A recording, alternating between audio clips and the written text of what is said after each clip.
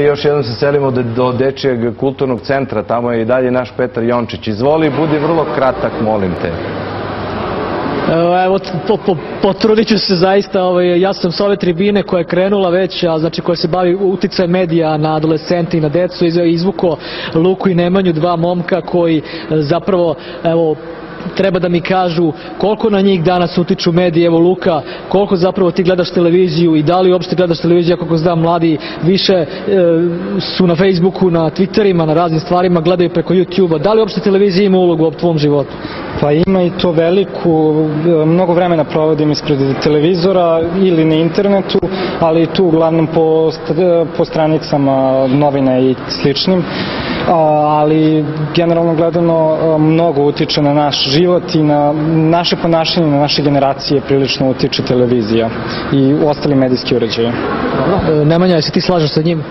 U potpunosti samo što više se de, ovaj, pratimo to šta se dešava trenutno na našoj stradi, na pevače, to svako gleda i najviše to utiče na nas.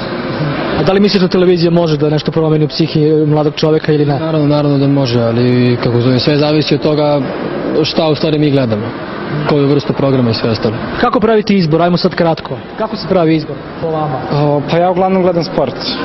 I, o, zato što uglavnom su o, na našim televizijama reality programi i stvari koje mene zaista... To, to izbegavaš? Da, izbegavam. Ti? Nemanja? To takođe sport ili neki ono zanimljiv film.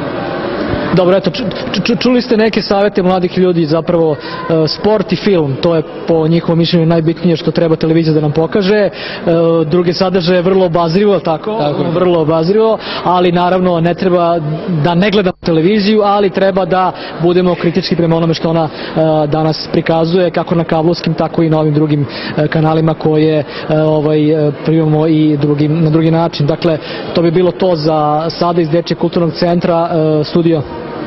Hvala puno Petre, pa kažu najdemokratskija stvar na svetu koju izmišljen je daljinski upravljač, dakle imate daljinski i onda menjate po vašoj volji i po vašoj želji.